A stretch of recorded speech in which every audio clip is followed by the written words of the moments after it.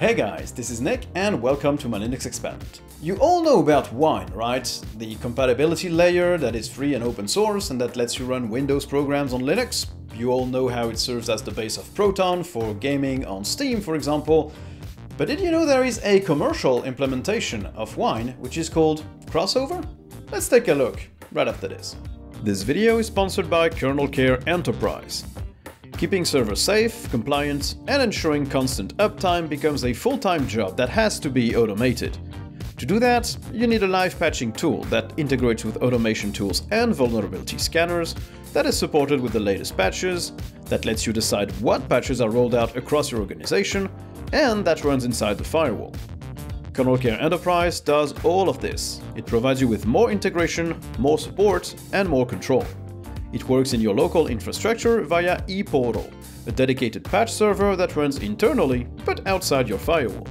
This server acts as a bridge between internal patch servers and the main KernelCare patch server. This approach is ideal for staging and production environments that need strict isolation from external networks or require more stringent control over the patches to be applied. Try KernelCare Enterprise for free by clicking the link in the description below. Okay, so what is crossover? Well, first we need to know that Crossover is developed by CodeWeavers, which is a company that can either develop Crossover or port some software to Linux, or contribute uh, like some technical efforts for companies that need them. But their main focus seems to be on Crossover. Crossover is a commercial implementation of Wine. It seems like CodeWeavers contributes two-thirds of the Wine code, according to their website, and that most of the developments they make on their own version of Wine is given back upstream so everybody benefits from it when they develop something on Crossover. So Crossover in itself is a software installation platform. It combines a graphical user experience that lets you install Windows programs on Linux with a database of installation recipes which contain all the necessary scripts and dependencies for the programs you want to install. So basically you search a program through the graphical user interface, it queries the database, and then it gives you the installation recipes that you can use to install said software. So if you know about Lutris or play on Linux, it's basically the same concept. You look for an application, you click install, it offers you a script to install the thing, and you just click next, next, next until the application is installed, and generally, if the software says it's gonna run, it's gonna run. Now, Crossover supports games, of course, but it also supports regular Windows programs, something that we often forget that Wine can do.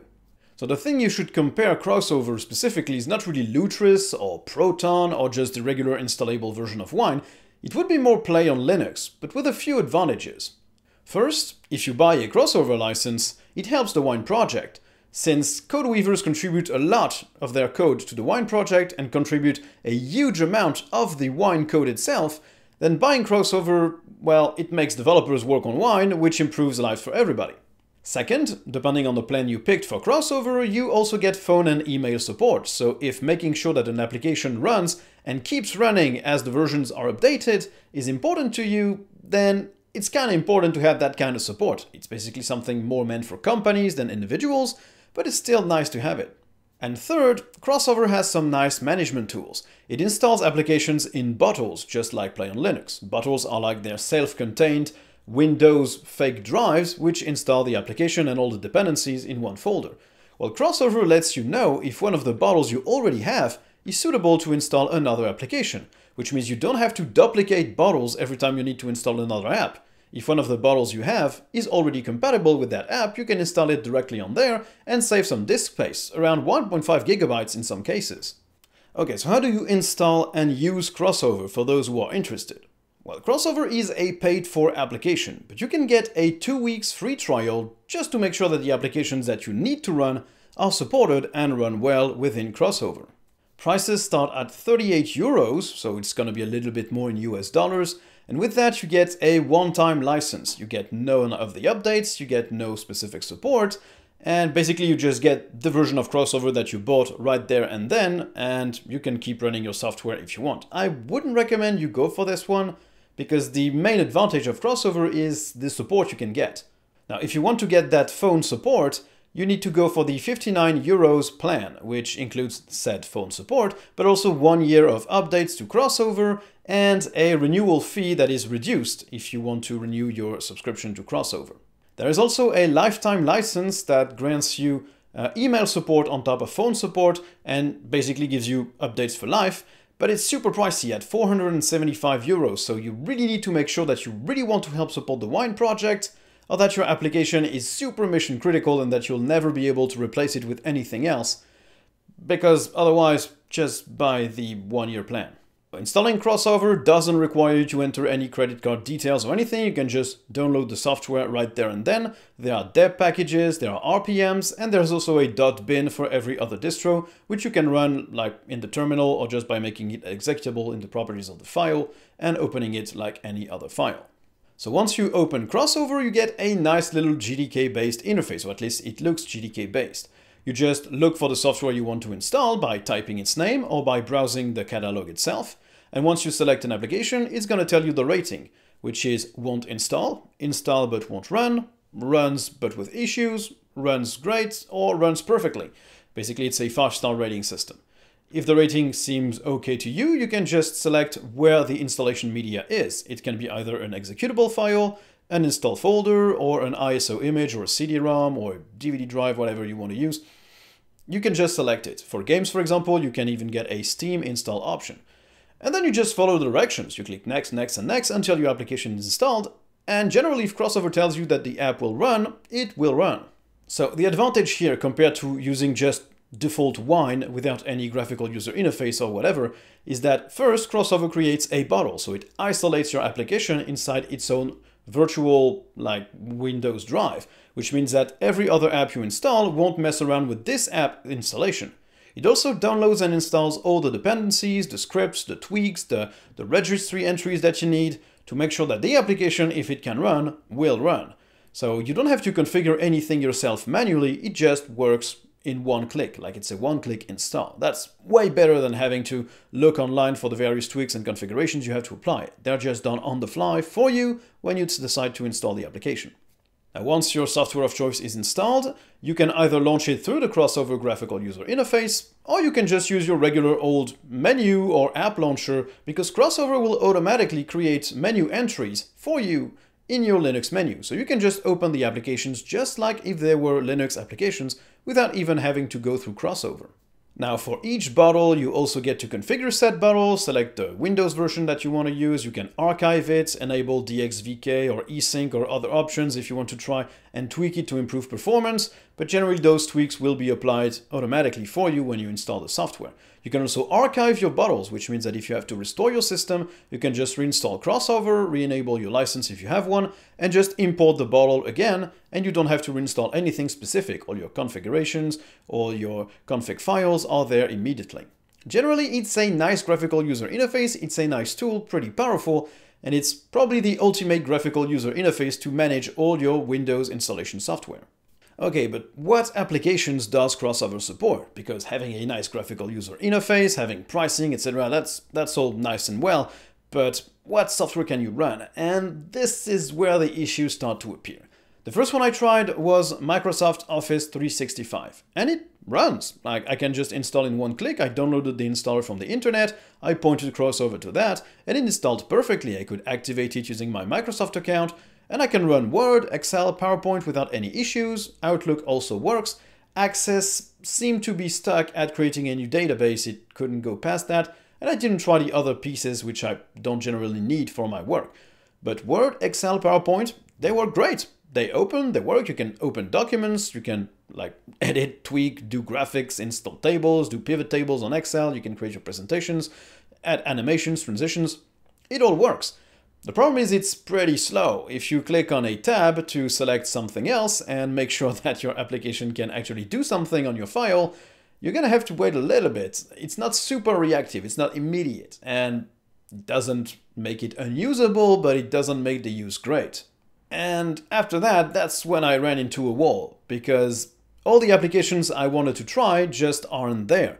I couldn't find Photoshop Creative Cloud, I couldn't find any of the Affinity software, I couldn't find iTunes, and some installation scripts seem a little bit behind from what other installation applications can do. For example, Lutris can install in one click the Epic Game Store. It just works. When on Crossover it's listed at as install but won't run. which is incorrect because some installation scripts work to manage to install the Epic Game Store. So basically, Crossover is not a one-size-fit-all solution. You can't just use that and make sure that every single Windows piece of software that you want will run through it. And that's an issue because that's what you would expect from a commercial implementation of Wine. So generally, Crossover seems to be a little bit confused on what to display to a user and what not to display. If I look on the database on their website, I can see a lot of software that could run, but if I look for that exact same name in the graphical application, the Crossover app, then I can't find this app. For example, iTunes, some versions are listed as working and compatible on the website. But on Crossover, if I type iTunes, nothing shows up. And it's not that Crossover hides applications that don't run, because some applications you can look for them, select them, and it's going to tell you that they don't run. So I don't really know what they're trying to do here, hiding some applications and showing some others that will or won't run. I mean, the logical thing would only be to expose applications that do run at least a minimum, so basically 3 stars out of 5. Anything else should be hidden for now. But it's not, so it's it's a bit tricky to understand what app you can or you can't install and why some don't even show up in the list, which is very weird. And that's the main issue with Crossover. The, the graphical user interface is nice, the ability to install in one click is very nice, but the problem is the applications that people keep clamoring for online just aren't there. You don't have the Creative Cloud suite, you don't have the Affinity suite, you don't have any AutoCAD version. The only one that's listed is 2013 and it just won't run. You don't have iTunes. Like generally the software that people just want isn't there apart from Microsoft Office. So what's the point of crossover, you may ask? Why wouldn't I just use Play on Linux, or use regular Wine, or if I want to play games, just use Proton and Lutris? And yeah, crossover isn't a magic bullet that will make every single piece of Windows software run on Linux. If it doesn't run with Wine or Proton, it probably won't run with crossover, because crossover's backend is Wine after all. So if you're an individual, I don't really see any reason why you would want to buy a Crossover. You can replicate the experience with Play on Linux or anything else. Where Crossover really is interesting, I think, is for companies. Because if you're held back on Windows by one or two pieces of Windows software, but you'd like to move to Linux because you could do anything else on Linux, then having those two pieces of software run through Crossover is better than having to manage them through Wine manually. Just because you can archive the bottle, export it, and put it on every one of your employees' devices. Buying the crossover license even for one year gives you the support, and it lets you ensure that the application will keep running if it ever stops doing so. So you have the tranquility of mind of knowing that the application that you depend on to run your business will continue to run because there's a company behind it that will ensure that it does. And so basically, the cost of the license is gonna be way less than the cost of keeping using Windows. So that's the use case, I think, for crossover right now. Individuals like you and me probably don't want to run crossover. You'll, you'll do fine with Play on Linux. But companies that want support, that want commercial support to ensure that what they depend on can still work, I think they should go to crossover instead of using a hacky user-based solution. Also important to mention, crossover doesn't only run on Linux. It also runs on Chromebooks and on Macs, including the Apple M1 Max through Rosetta 2.